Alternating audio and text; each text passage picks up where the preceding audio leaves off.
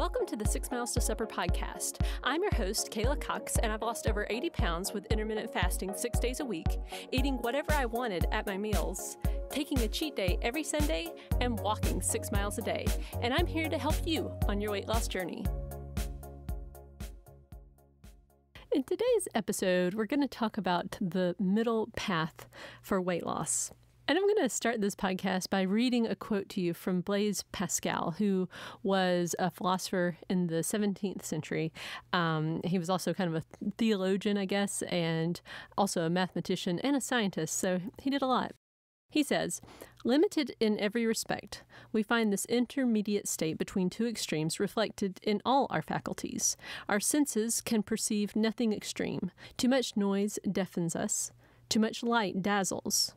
When we are too far or too close, we cannot see properly. An argument is obscured by being too long or too short. Too much truth bewilders us. I think this is so important to understand on the weight loss journey. This is contrary to so much weight loss advice out there. So many people you know, kind of beat the drum that, oh, you got to be really extreme. Like your diet kind of has to be extreme if you want it to work. Uh, your exercise has to be extreme. Uh, and, and, it always seems like there, there's just this push for people to be very dogmatic and very, very strict.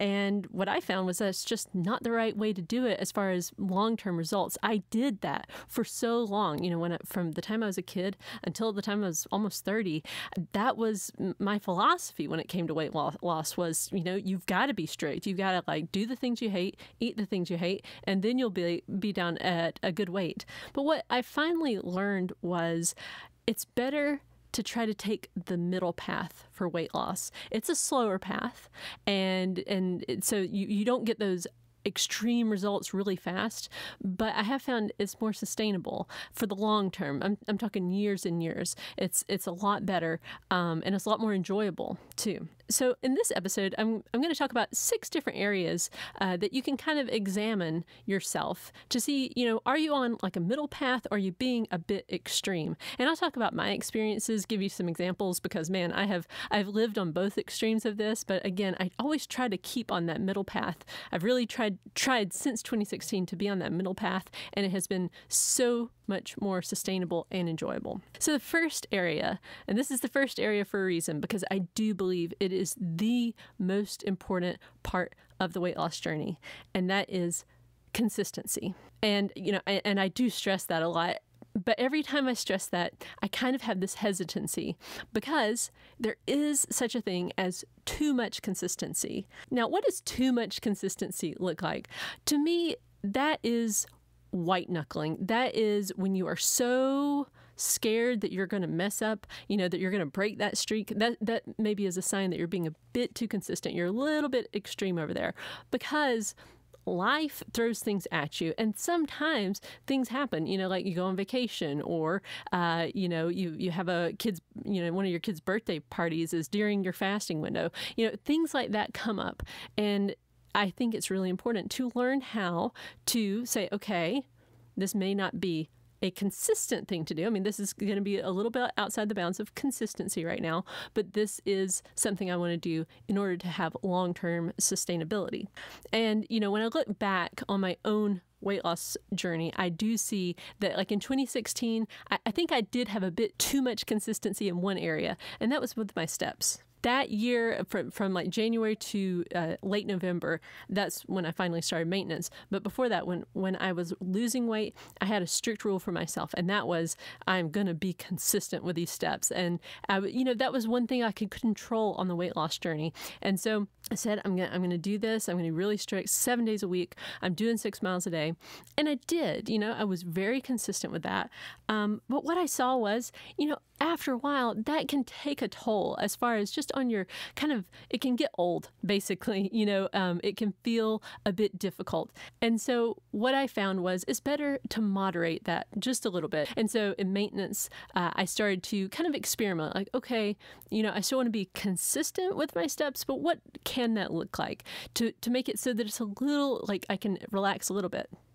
I found for myself that, you know, as I went along, even though I was really, really consistent with my steps, I did learn the lesson in 2016 of I need to have a kind of a, a code for myself, a plan for going off plan. And so, you know, that's what I would try to do. Like, okay, I want to be consistent, but yet I want to give myself, you know, some times where I will allow myself, you know, to eat, even if it was in my normal fasting window, what are the, you know, different parameters? Like if my kid uh, specifically requests that I have lunch with them, like says, hey, mom, will you have lunch with me? You know, I'm going to do that. On the other hand, though, you can let it get to the point where you just have too little consistency you know you have you're just not doing the plant you're not doing anything consistently and what's that going to do? It's going to lead to poor results. You have to do these things you know on a consistent basis. And when i say consistent you know for me i try to be a b plus student. So i shoot for like 85 you know percent consistency. Like you know when i'm doing my walking and my fasting that's six days a week. So six days a week out of seven i am being on plan. I'm being consistent. And again, you know, I do take occasional, you know, days off for like holidays and things like that. So, you know, but when you work it all out, I would say I'm about a B plus student. And for me, that's just the right amount. Now, you may find that you need, you know, a bit more consistency than that or a bit less. But ultimately, it's about just finding for yourself where is that middle path. I think it's a good idea if you're kind of like, well, well, how do I know? Am I being consistent enough? A couple of markers that always work for me are to see, you know, am I having results? So, you know, in the case of if I'm trying to lose weight, for me, that would be, am I losing weight? And is the scale trending down over time? On the other hand, in maintenance, okay, what what does that mean? Because maintenance is a little bit easier. Uh, maybe you're staying in a range. Uh, so for me, I say, okay, well, am I maintaining in that range that I want to be at? And if I am, then I say, okay, I'm being consistent enough with my plan. And I want to stress to you as we go through each of these uh, areas that when when you're finding that middle path, it's a process. And and I think really, you know, I hate to burst your bubble, but I think it's a lifelong process. Uh, what I've come to determine is you know, life changes sometimes. Uh, I can just think back in my own weight loss journey, how much my life has changed just from, you know, when I was losing weight the first time into maintenance. And then after I started, uh, you know, my YouTube channel and, and, and this podcast, a lot of things have changed. My daily schedule has been completely different at various times.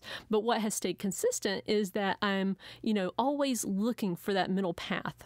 And also, you know, I want to encourage you too that as you're finding the middle path, you're probably going to bump up on both sides of the spectrum. So, you know, when you're first working on consistency, you're probably going to, you know, be too consistent at certain points. You're going to get too strict, you know, with yourself, and and it's going to be a little bit too hard. And then you'll maybe will kind of go the other direction, and you're going to make it a little bit uh, where you're not consistent enough. And then you're going to, you know, go back the other way. But eventually, you know, if you just keep, you know, keep uh, reminding yourself that this is a process and you're just learning, then you'll eventually find that middle path where you really are doing well in the weight loss journey. Now, the second area, which I think is so very important, uh, but that, you know, again, I always do uh, hesitate sometimes when I encourage people to track, uh, you know, things. I, am afraid people might take it to an extreme.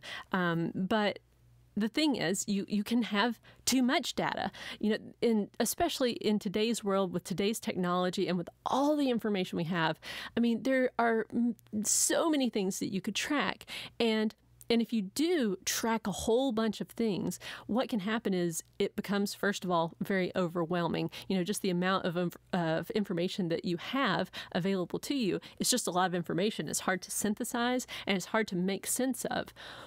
But also, you know, if if all the tracking you're doing becomes burdensome, then you're probably not going to stick with it anyway. So so it's you know it's got those kind of negatives to it.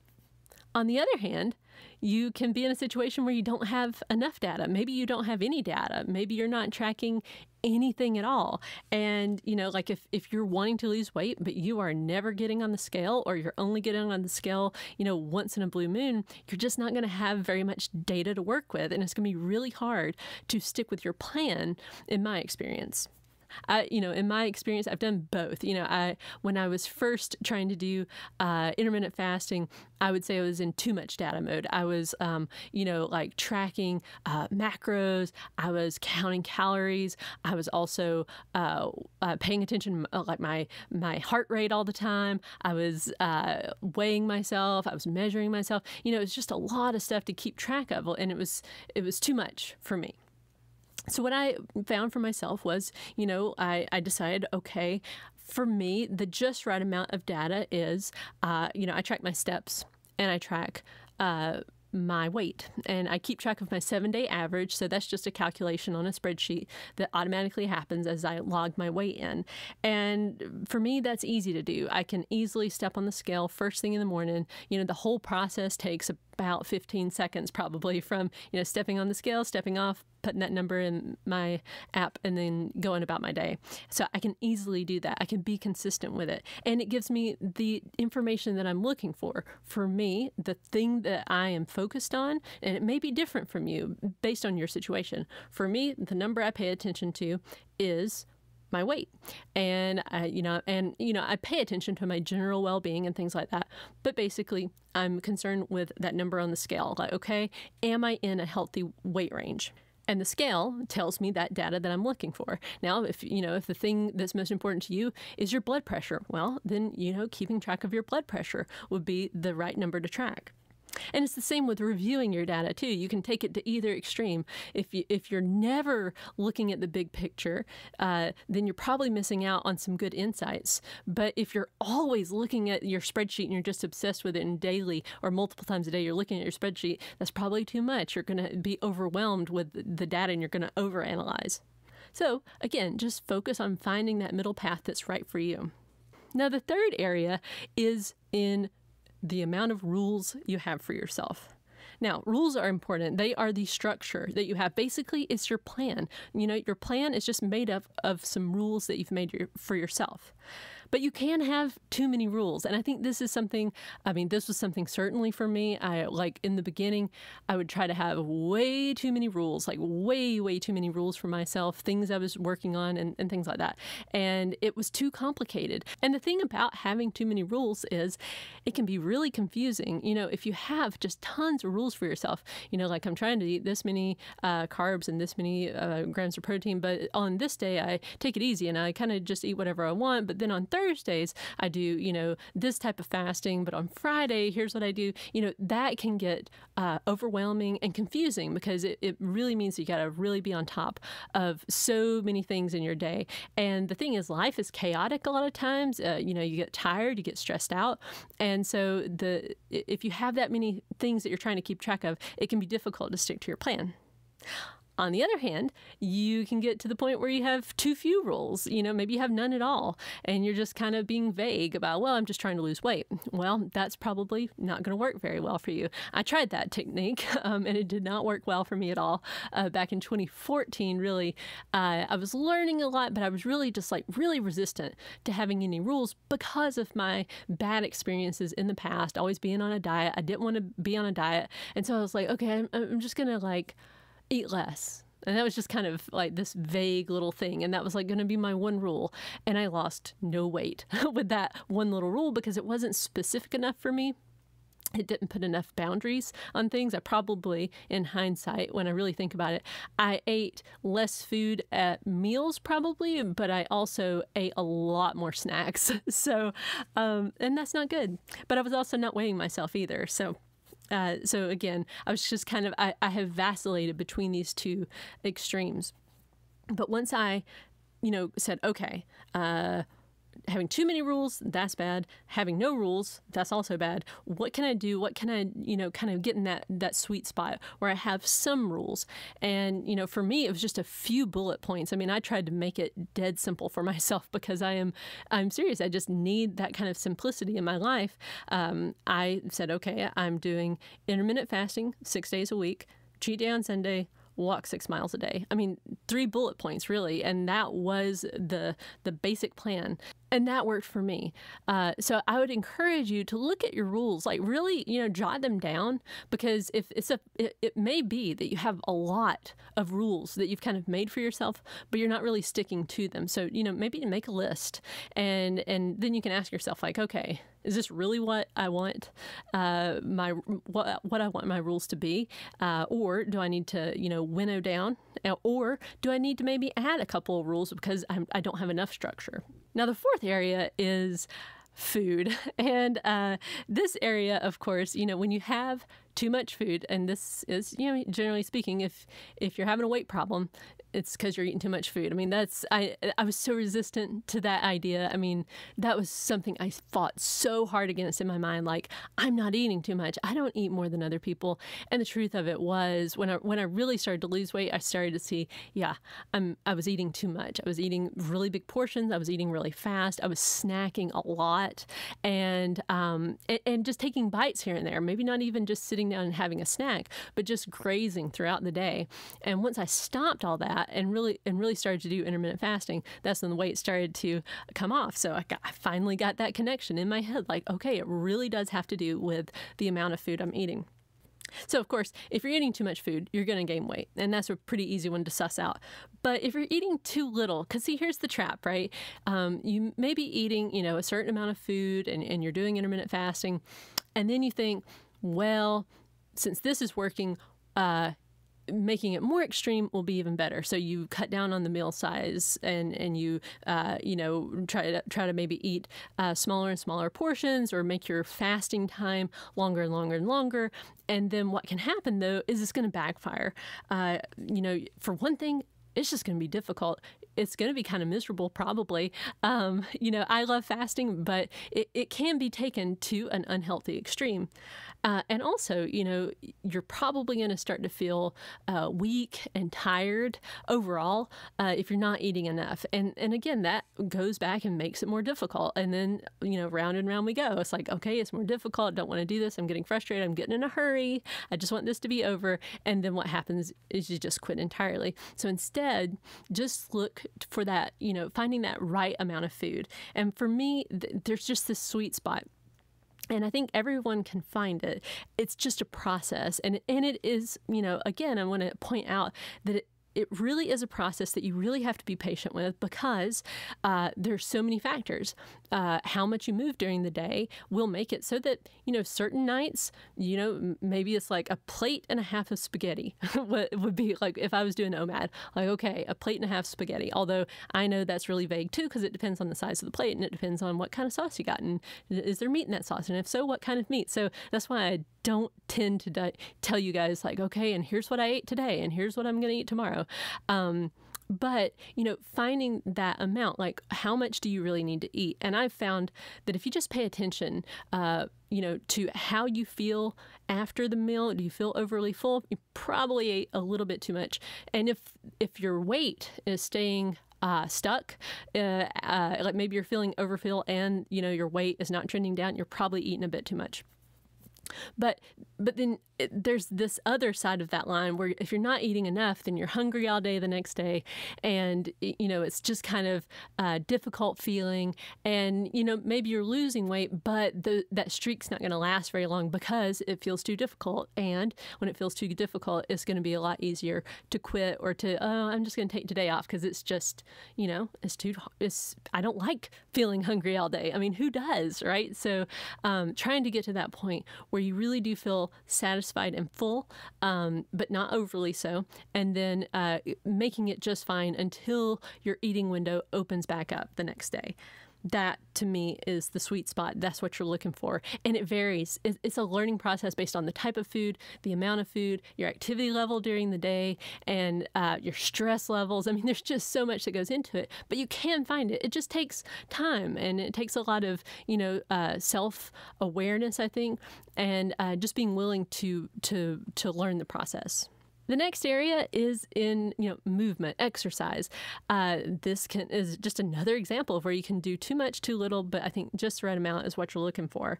Um, you know, when you're when you're exercising too much, lots of things can happen. One is you know you could get injured. Uh, I certainly did this back in uh, 2015. I injured my back because I was trying to do too much. I was trying to lift too heavy, again because I was you know trying to rush, trying to get faster, better results all the time. And um, but also, you know, even even when your body isn't suffering, it can make your relationship suffer too. You know, like if you're spending hours upon hours in the gym, but you also have a husband and kids. I mean, that's not going to work well, right? So you kind of have to balance that out and say, okay, what's a reasonable amount of time uh, to exercise? You know, you want to do some, but not too much, and um, and again, this goes back to what does your day look like already? You know, what kinds of commitments do you have? Um, and then and basing it uh, off of all of that, you know, because again, uh, you know, it might be different. The amount of time that would be good and, and kind of a middle path would be different for someone who's, you know, got a full time job, plus they take care of, you know, an aging parent and, you know, they have all these other commitments. You know, maybe, uh, maybe a smaller amount of time is the most middle path, whereas somebody who has a more free schedule, you know, it, you could do more. Uh, but just looking at your own individual life. On the other hand, if you don't move at all, uh, this is not good, right? Um, and you know, I I do want to say here, I have certainly uh, seen and talked to people who do no exercise at all. Like they, and now they may be kind of an active person as far as maybe their job keeps them kind of moving all day, but they don't go exercise. Like they don't go out and exercise, and they have maintained a healthy weight. I mean, lost down to a, um, a healthy weight and are maintaining it without exercise. Um, but the overarching thing that I've seen in all the interviews and stuff that I've done with people, the general theme seems to be that exercise helps at least just in the mental uh, health aspect. It's a stress reliever. It keeps people going uh, when they are, you know, just kind of uh, maybe the scale is plateauing, you know, but the exercise keeps them feeling good. And for me, you know, I, I walk and I walk at a slow pace, but um, I do it consistently. And um, I found that for myself, it certainly helped me to stay more consistent and to just feel better. I don't feel stiff and I like being able to just keep up with my kids and, and uh, play with them and, and not feel tired all the time. But ultimately, for me, it's about the mental health. Now, the last area is confidence. And this is a tough one too because, you know, I encourage people to have confidence and, and it is important. But there is such a thing as too much confidence.